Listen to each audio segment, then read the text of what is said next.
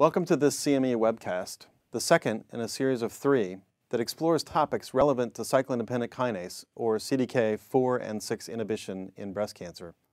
I'm Dr. Mark Pegram from Stanford University, where I direct the breast oncology program and co-direct the Stanford uh, Translational Oncology program.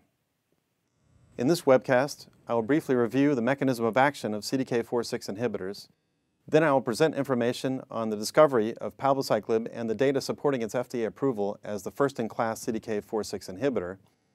We will start with this animated video showing the role of cyclin D1 CDK4-6 pathway and the mechanism of action of CDK4-6 inhibitors in breast cancer. In order to better understand the biology of the signaling pathways and how they relate to the mechanism of action of CDK4-6 inhibitors, we have prepared some animation that illustrate these points. One approach to treating advanced estrogen receptor positive breast cancer is by targeting the cell cycle. In a healthy cell, the cell cycle is well controlled. However, in a cancer cell, the cell cycle is deregulated from mutations or upstream signals, causing cancer cells to proliferate at faster rates than healthy cells. For example, in estrogen receptor positive breast cancer cells, the deregulation of the cell cycle is caused by the overexpression and overactivation of growth factor and estrogen receptor pathways. When these pathways become activated, they instigate a cascade of mitogenic signals. A wide variety of mitogenic signaling pathways converge at the level of cyclin D1 messenger RNA and protein upregulation. Cyclin D1 binds to and activates cell cycle dependent protein kinases, or CDK, 4 and 6. The activated cyclin D1 CDK4-6 complex mediates the phosphorylation and inactivation of the tumor suppressor retinoblastoma protein. In a normal state, activated RB protein inhibits the cell cycle from progressing through the G1 phase. The phosphorylation of the RB, or retinoblastoma protein, releases E2F transcription factors from the protein complex, causing the cell cycle to progress from G1 to S phase and resulting in cancer cell proliferation. There are three selective ATP competitive inhibitors that have been developed to target the cyclin D1 CDK4-6 complex. These small molecule inhibitors block the cyclin D1 CDK4-6 complex and prevent the phosphorylation of RB protein. This stops the cell cycle from progressing to the S phase, preventing cell cancer proliferation or growth. In addition to causing transient G1 cell cycle arrest, preclinical evidence suggests that these inhibitors can also cause senescence and apoptosis. Targeting the cell cycle with CDK4-6 inhibitors is a promising treatment option for patients with hormone receptor positive breast cancer. Now in terms of palbociclib, the uh, demonstration of activity unique to luminal ER positive disease uh, was discovered by Richard Finn at UCLA. In these experiments, a panel of 47 human breast cancers and immortalized cell lines representing all of the known intrinsic molecular subtypes of human breast cancer were treated empirically with palbociclib in order to determine the inhibitory concentration 50% values. Some of the cell lines were ex exquisitely sensitive to palbociclib in terms of growth inhibition, while others were relative resistant. The most sensitive cell lines were sensitive at low nanomolar, in some cases even fractional nanomolar concentrations, while others were resistant altogether.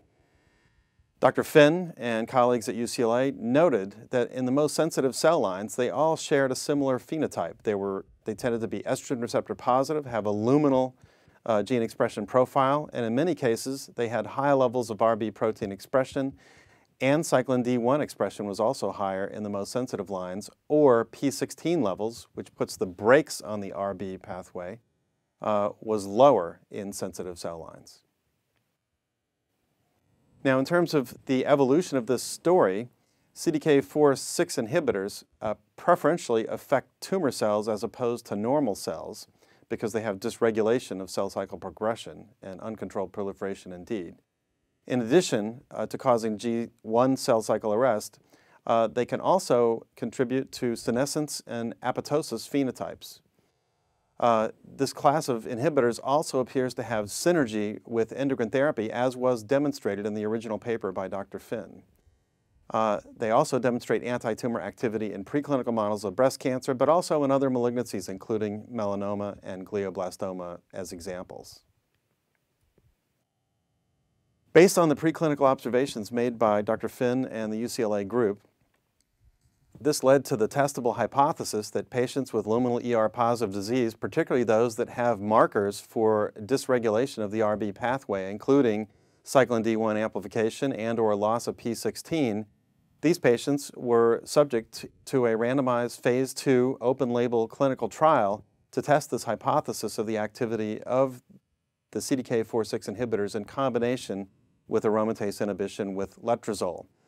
The patients enrolled in the study were postmenopausal with advanced disease that were ER positive and HER2 negative, and they had no prior therapy for advanced disease. A total of 165 patients were randomized in this phase two open label study. Patients were randomized to letrozole and standard dose and schedule, 2.5 milligrams PO daily on days 1 through 28, uh, with palbociclib given 125 milligrams PO daily just on days 1 through 21 versus the control arm of letrozole, 2.5 milligrams PO daily throughout. There were two separate cohorts in this randomized phase two study. In the first cohort, unselected patients that were ER positive and HER2 negative in the first line metastatic setting were randomized. And in part two of the study, involving 99 subjects, only patients with cyclin D1 amplification and or loss of P16 were allowed to be enrolled. So two separate cohorts. Now, in the overall combination of parts one and two together, there were 156 subjects with a median follow-up duration of 27.9 months.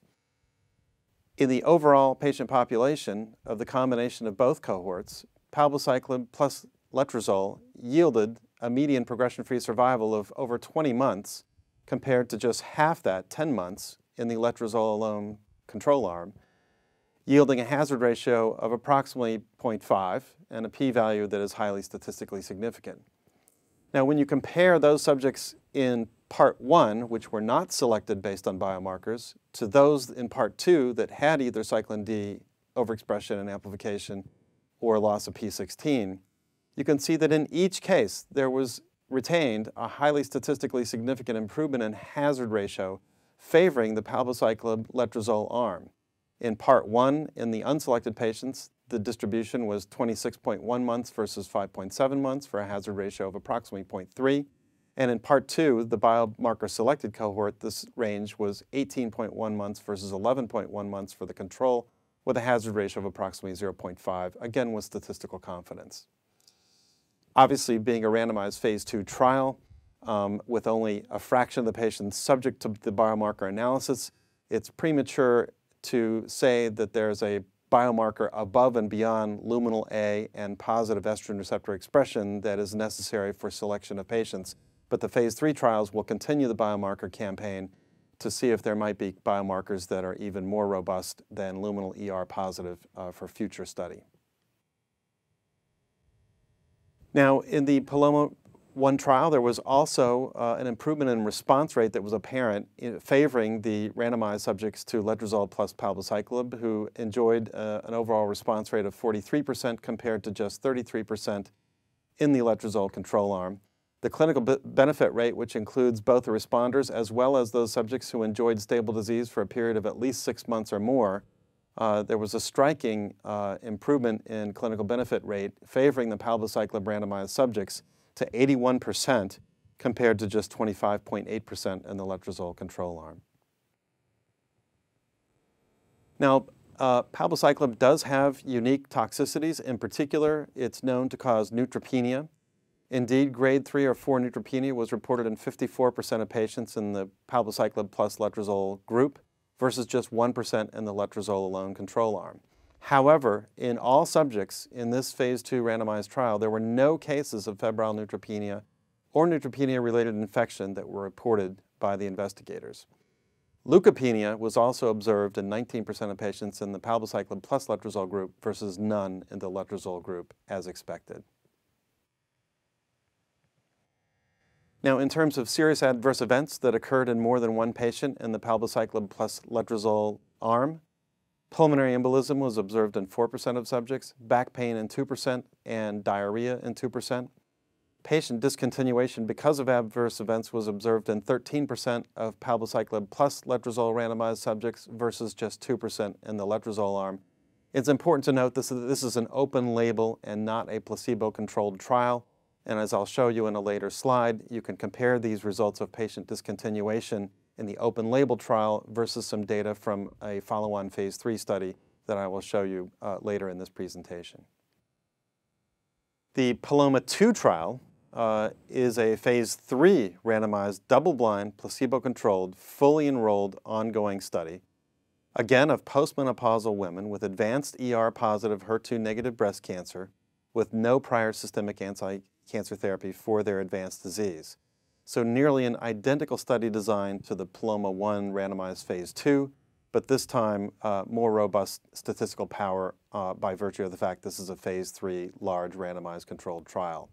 Again, the randomization is to letrozole in standard dose and schedule along with palbociclib, 125 milligrams daily on days 1 through 21 versus letrozole alone, 2.5 milligrams POQ day uh, plus placebo.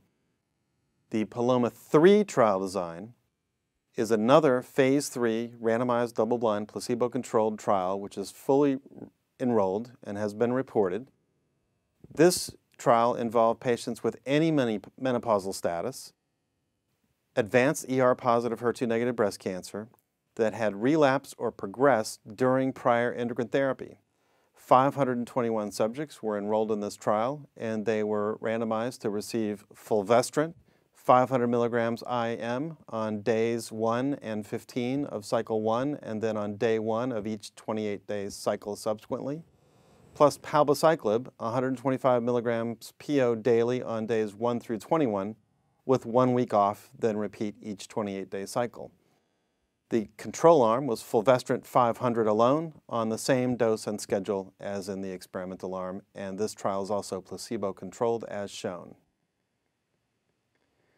In terms of the results, the baseline characteristics in this cohort, uh, the median age was uh, 57 years, 79% were postmenopausal, 60% had visceral disease, and 79% were considered sensitive to their prior endocrine therapy manipulation.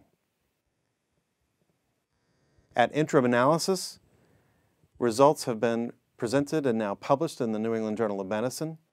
Uh, showing the median progression-free survival in the palbociclib plus fulvestrant arm of 9.2 months compared to just 3.8 months in the fulvestrant plus placebo arm, hazard ratio 0.422 with a p-value that is highly significant. Adverse events in this randomized phase 3 trial included uh, the most common grade 3, 4 adverse events uh, were neutropenia, 79% versus 3.5%, leukopenia, 46% versus 4%, fatigue, 38% versus approximately 27%.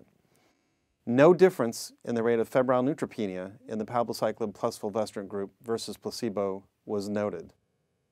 Patient discontinuation because of adverse events, interestingly in this placebo-controlled trial, just 2% of the subjects discontinued due to adverse events in the palbociclib plus fulvestrant arm compared to 1.7% in the fulvestrant plus placebo arm.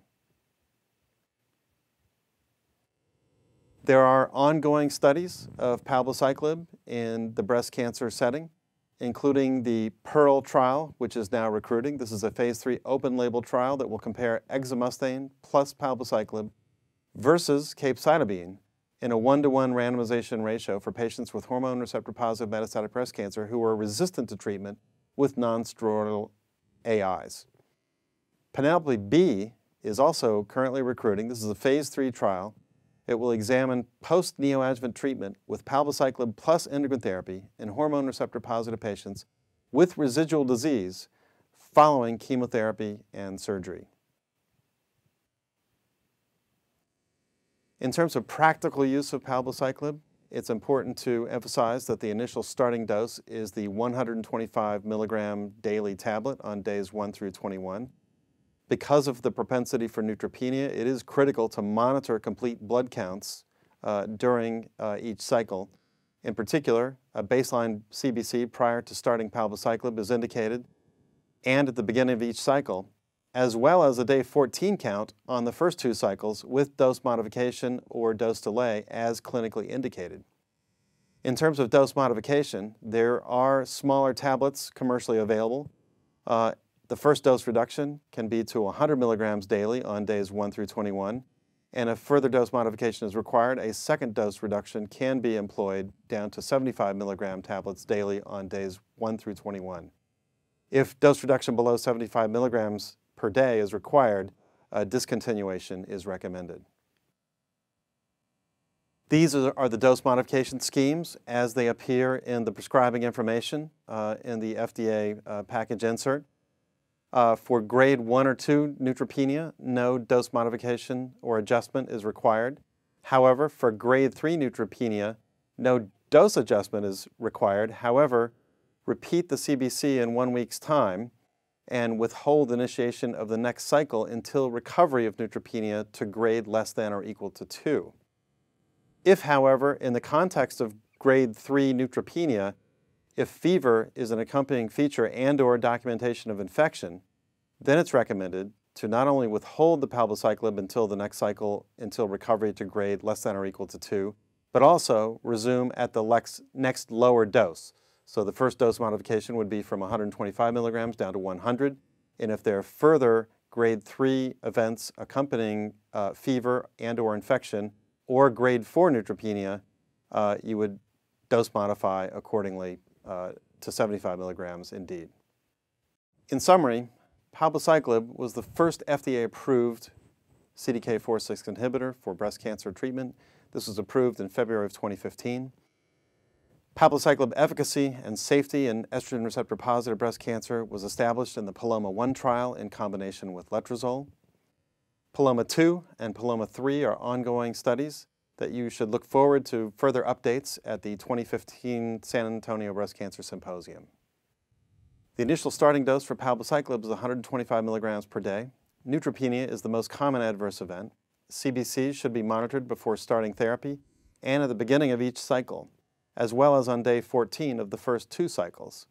Dose modification and or delay in starting treatment cycles is recommended for those patients who develop grade 3 neutropenia in the context of fever or infection, or grade 4 neutropenia. With that, I thank you for participating in this webcast. I hope it will enrich your practice, and I encourage you to participate in two other webcasts in this series.